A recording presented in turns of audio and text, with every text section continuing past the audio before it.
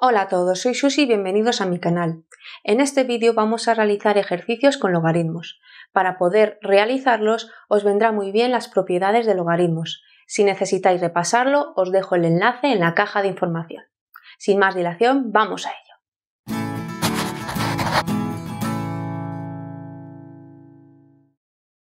Estos son los ejercicios que vamos a resolver.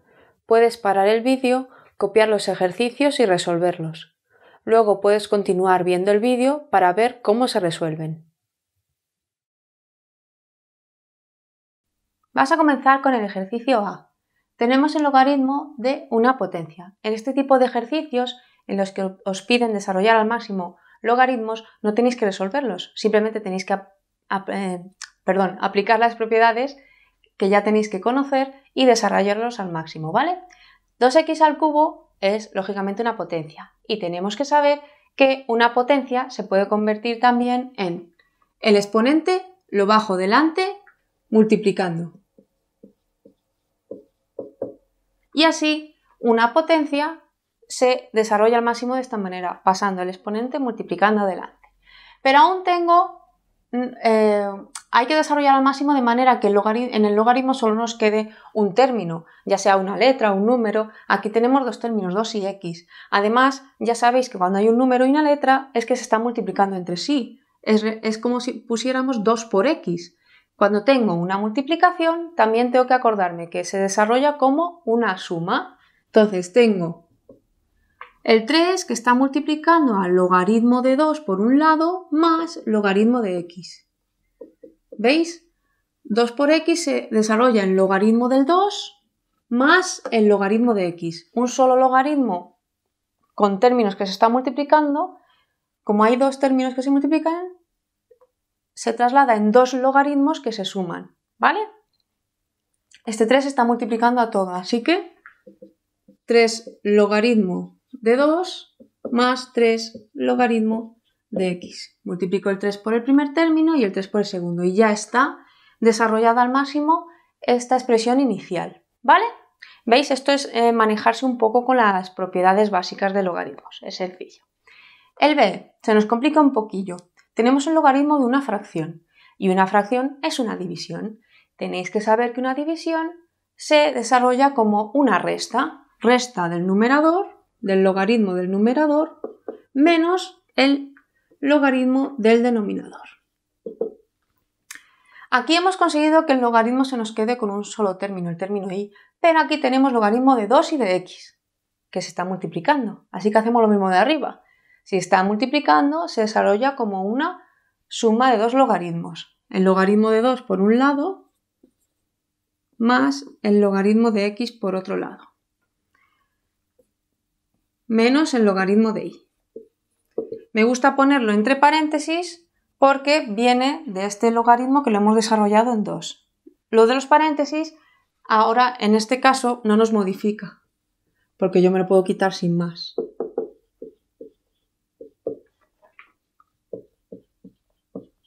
¿Vale? Pero en otros casos que tenéis un negativo o que hay un número multiplicando, como en este caso, si no los ponéis, os puede traer problemas. Así que acostumbraos a ponerlos siempre y cuando se quitan sencillos, pues mejor. Tenemos logaritmo raíz cuarta de a. Las raíces siempre, siempre, cuando tengáis este tipo de ejercicios, pasadlas a potencias, ¿vale?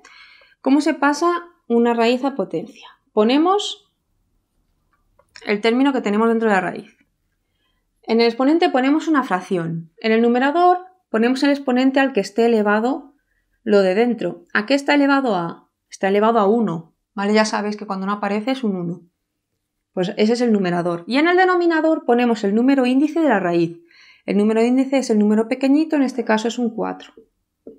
Vale, una vez que tengo la potencia, ya sabemos aplicar, desarrollar potencias, ¿veis? Paso el exponente delante multiplicando. Así que un cuarto pasa multiplicando al logaritmo de a. Y así lo dejo porque ya me queda simplemente el logaritmo de a y ya no lo puedo desarrollar más. En el ejemplo C tengo una potencia, una fracción elevada a algo, es una potencia primero, así que me bajo el exponente multiplicando a todo el logaritmo.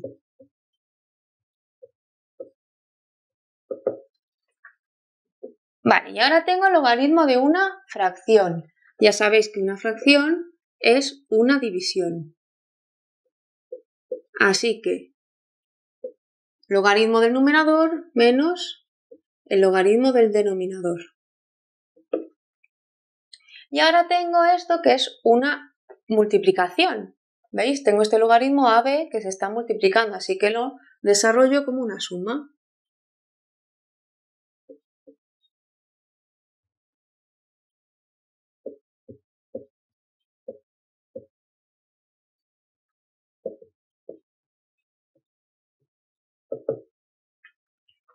Me voy a quitar el paréntesis de dentro.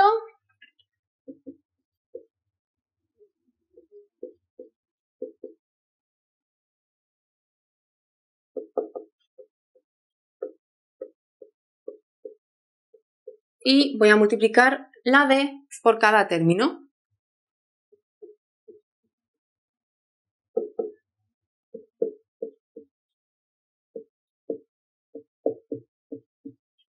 Y ese es el desarrollo final de este ejercicio, ¿vale? ¿Veis? He ido funcionando con los bloques. ¿Tenía logaritmo de AB? Pues ahora ese es el bloque que pongo entre paréntesis. Lo demás lo mantengo entre corchetes porque me venía de un grupo anterior que multiplicaba la D, ¿vale? Aquí cuidado, pero si vamos pasito a pasito y organizados, nos va, eh, nos va a salir bien, ¿vale? El logaritmo neperiano de 1 partido de x. Tengo una fracción. Aquí que no se asuste ver el número e y el logaritmo neperiano. ¿Sabéis hacer el desarrollo de una fracción? Sí, es una división, así que tengo los logaritmos restando. El logaritmo neperiano de 1 menos el logaritmo neperiano del número e, x. Ahora, este lo puedo desarrollar porque es e por x, es una multiplicación. Así que lo desarrollo como Logaritmo de más logaritmo, perdón, logaritmo natural. ¿Vale? Y ahora me voy a quitar este paréntesis con este menos delante.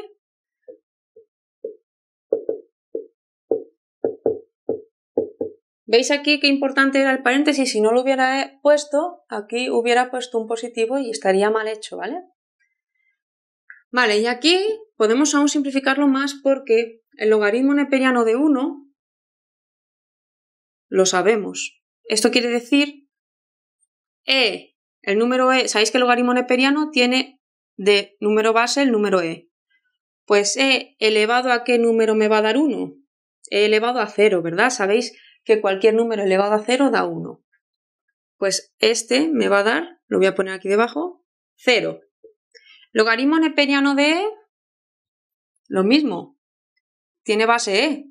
e elevado a qué número me va a dar e? Pues e elevado a 1. Pues logaritmo neperiano de e vale 1. Menos logaritmo neperiano de x. El desarrollo final es menos 1 menos logaritmo neperiano de x. ¿Veis? Puede parecer lioso, pero teniendo muy claras las cosas, os sale. Esto es practicar muchos ejercicios con las propiedades de los logaritmos y ya veréis que os sale sin problema.